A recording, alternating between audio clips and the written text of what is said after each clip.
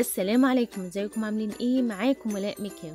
تعالوا بقى نشوف نضفنا الصينية دي إزاي. شايفين كانت عاملة إزاي؟ بجد بجد ما كنتش عارفة انضفها خالص.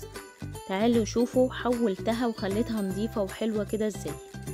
أول حاجة حطيت عليها مية وسبتها على النار تغلي لمدة خمس دقايق. وبعد كده حطيت عليها بيكربونات الصوديوم حوالي معلقتين كبار وحطيت عليها كوباية من الخل.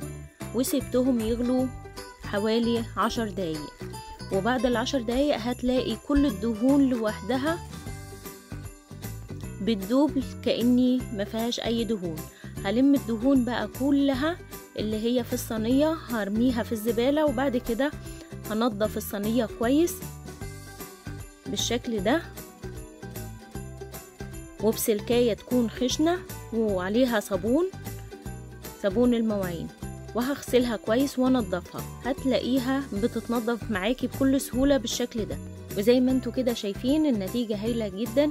يا رب يكون الفيديو عجبكم واستفدتوا منه. ولو عجبكم ما تنسوش ال share وال like وال subscribe لقناتي على اليوتيوب وصفحتي على الفيس. كان معاكم ولاء مكياج. مع السلامة.